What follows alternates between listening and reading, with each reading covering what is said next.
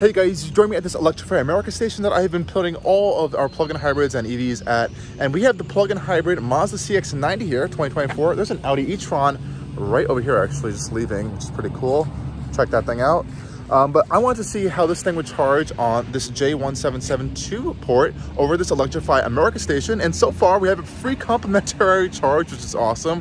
And everything's been going seamlessly, no issues whatsoever. So let's go and take a look of how this is all working out. Okay guys, this station's pretty open right now and we have the CX90 here in this awesome rhodium white metallic paint. It looks really nice. And we have this one J1772 port level two charger over here. And this has been like the third time I've used it on a plug-in hybrid and it's been complimentary every single time, which is kind of nice. I've been here for like eight minutes so far, so not really too long. They finally fixed this screen. This used to be broken actually, um, so which is interesting. You can see updating charging cost, energy delivered, and a lot of stuff. So I'm gonna go take a look inside. I'm not sure if it's reading correctly with the CX90 though. The last time I checked, everything was going well. Um, inside, on this side, we have the gas cap actually. This is a plug-in hybrid. You can see inside, it is indeed charging, um, which is pretty cool. So we have 42% state of charge. Really love this screen. This is epic. Um, it says an hour and 30 minutes for a full charge on this car. We have 11 miles, 13 miles of range. So it's actually going pretty quick. Really nice stuff. And let's see if we can turn the car on while it's charging. It's a good test. Distracted driving won't cause this. And the car is on. I believe we're in accessory mode, um, but it is technically on, which is kind of cool. Uh, let me just see if I can turn it on. Okay, so it's kind of in like an accessory mode. It's still charging though, which is kind of cool. So yeah, it's still charging. Now the AC is running, so things and accessories seem to be running while it's still plugged in, which is kind of cool, but it's definitely not on full. You can see it's still like in the accessory mode. Nonetheless, not a bad problem. A lot of information you can see on this display though, as you can see here. Um, you still see that charging display. On our right-hand side, we can see our um, efficiency in both for the battery as well as the um, gas engine separately, which is kind of interesting. I don't really seem to be able to find a combined one on here, which is interesting. You can also cycle through a few gauges here. You actually have a battery temperature gauge um, and a few other little nice little pieces of information there. So battery temperature gauge as well as the engine coolant temperature gauge, which is really interesting. Um, but I really do like this stuff. And Mazda has um, some other cool EV stuff you can see in here in these settings. So if I go to settings, um, we can go to EV settings. We can see on different charging schedules. We can see charging control timers, limit for AC charging. So right now it's set at 100%. Normally you're going to want to have this at 80%. Um, Mazda doesn't recommend to do 100% to prevent, um, you know, or to keep the battery um, as strong for the longest period of time as you possibly can. You can also choose to um, keep the charger connector locked. The vehicle key is also locked as well, so that's a nice feature. You can change your regen braking level, which is cool. A lot of nice, nice functions in here. You also have your driving charge target. I believe this is the one when you are recharging the um, engine with the, I'm sorry, you're recharging the battery with the engine. So that button's right here. So when you press that, the engine will kick on and will charge the battery. So, but there isn't really a hold function. Um, so that's really interesting. Otherwise, really nice information here. And you also do have, when you are driving, you have a information display that will show your kind of drive efficiency monitor so you can see where the power is being distributed to. I really like this. You can see your regen energy recuperated and your EV distance driven. And this will update on every single time you start and stop the vehicle as well. Uh, so that's a nice little function there. And I like this kind of e-Skyactiv PHEV sign right there. So really nice stuff. I think Mazda's done a fantastic job of integrating this technology and they have all the information I really want to see actually, which is kind of cool. Um, if there's something you guys think are missing, let me know down in the comments below. But so far, so good on this. Um, and let's go take a look, look outside once again. Okay, guys, so anyways, this is the new CX-90 plug-in hybrid from Mazda.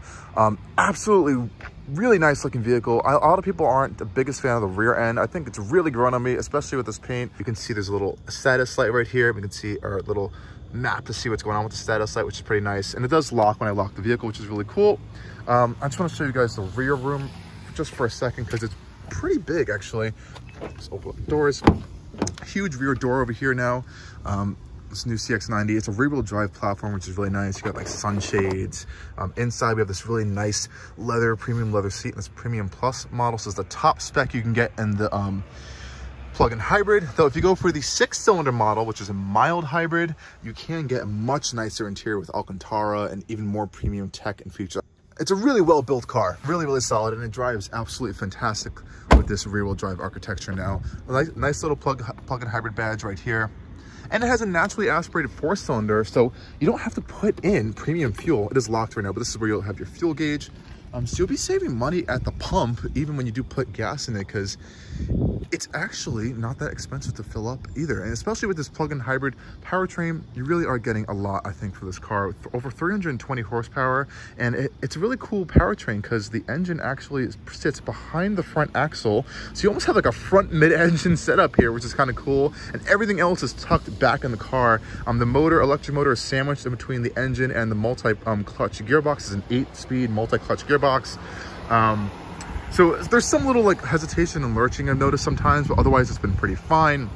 Though I do have to say that electric motor is really powerful. It's over 180 horsepower. I think it's 150 horsepower. I'm gonna put the exact number right there for you guys, but it's a strong, strong motor because this engine is not even making 200 horsepower alone. So combined, they're making around 323-ish.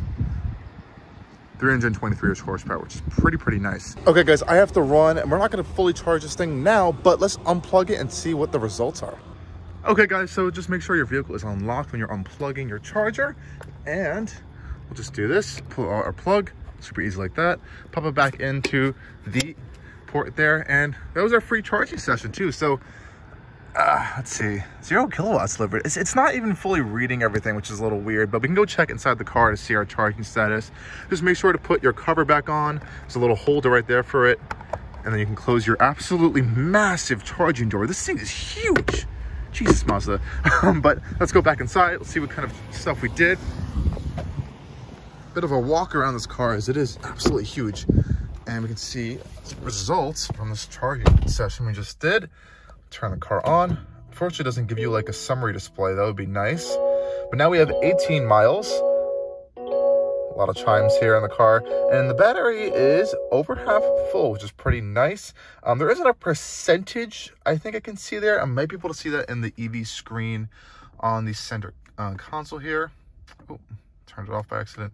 Settings, and we'll go to EV settings. You can see some stuff there. And we'll go and check our information. Our efficiency monitor. Hmm, nothing too interesting there. Information. High voltage battery monitor. Ah, here we go. So we can see 58% state of charge.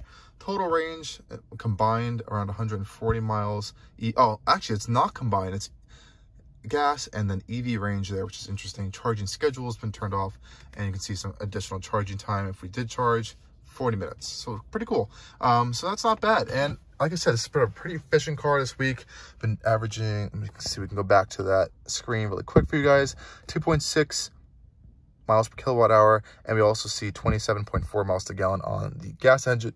This is actually low. I was getting way more than that. I've just been doing a lot of city driving. Anyways, guys, thanks for joining me on this quick charge of the CX-90 plug-in hybrid. And make sure to watch the full tour and review of this thing because it is a fantastic SUV.